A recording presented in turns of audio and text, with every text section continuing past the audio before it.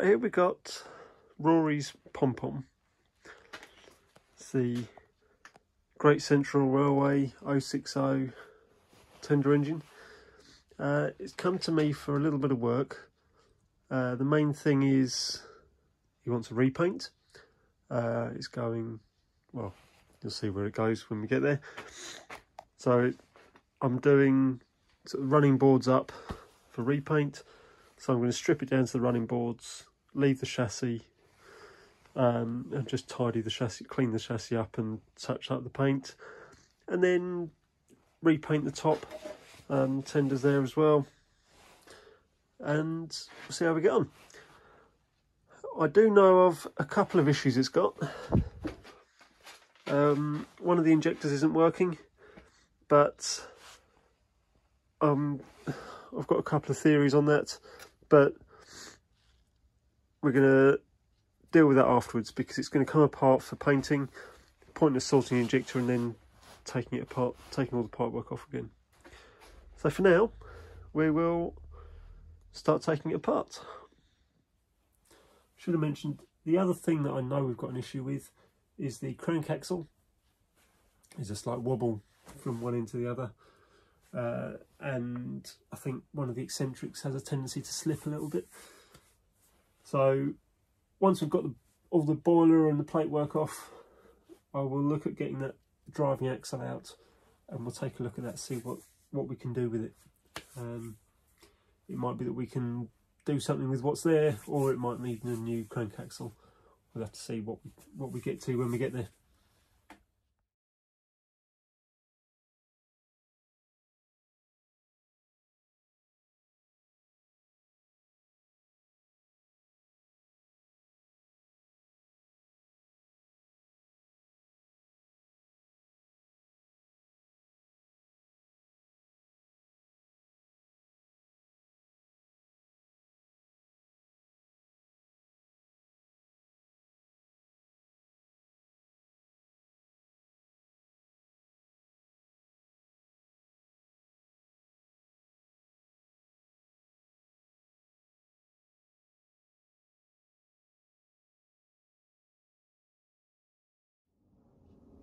There we go. In a pretty short period of time, we've managed to get the boiler off. So the crank axle's got a slight wobble from one side to the other. I think it's over this side. It's either the web to the last stub of axle or it's the wheel on the axle. Um, yeah, just wants a little bit of a clean up and we'll see what we can do.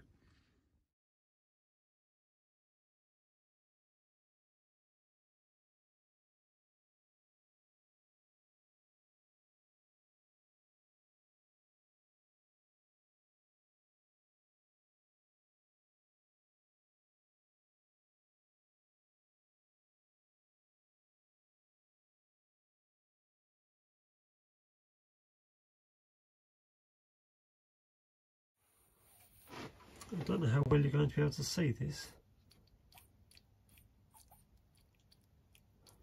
But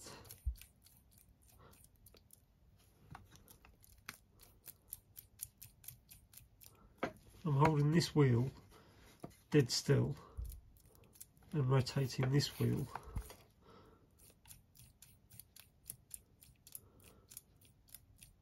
and all of that moving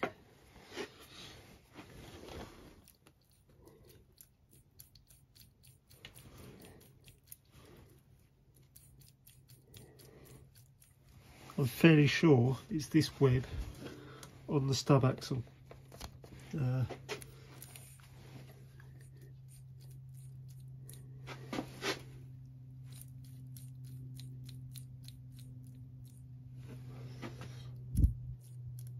you can see there. Let's see if we can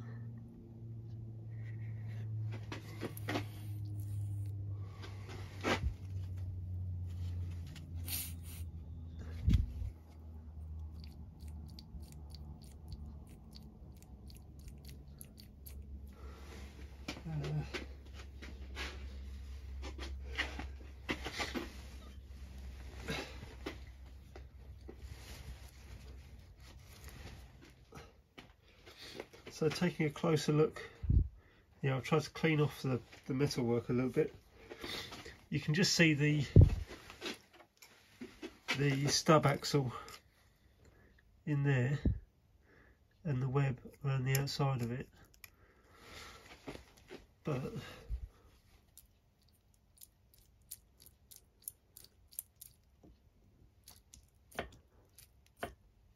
there you see, no problem. So I need to take all of this apart so that I can drop the axle out. Stripping apart an engine that you didn't make can be very frustrating at times. So I've got the axle free, big ends are off, all the um, eccentrics are split. I just need to lift the axle now, but the drain cock linkage running down the side is in the way, so that needs to come off as well now. We're now free to come out, but I can't see any indication of a uh, a marking to show which way round the the axle should be. So what I'm going to do, I'm going to just put a centre dot on this keep and on this frame.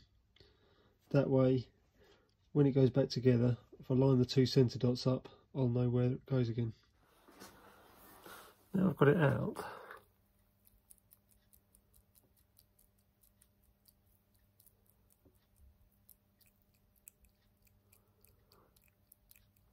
It's it's loose on both of these webs. One of them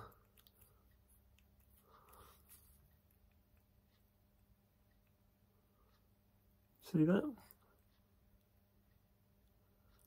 Really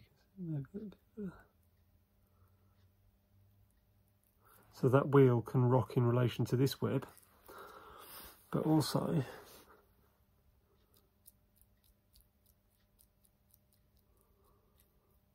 it's wobbling like mad. Across that, I don't know if you can see the centre boss. There you go. That's no good. Um, a bit too much movement for my liking.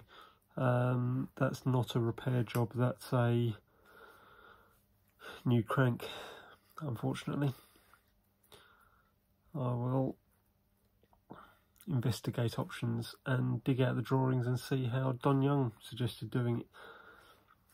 Right, that's enough for tonight. I've had enough. It's getting cold. It's getting dark outside. Well, it's getting dark. It's pitch black outside. Um, we'll catch up with that another time. Thanks for watching. Um, like, share, subscribe, whatever you like. If um, if you think it's worthy of it, uh, and I will do some research about a new crank axle and start pulling this one apart at some stage. Um, so I need to get some material and look at making a new axle. So thanks for watching and goodbye.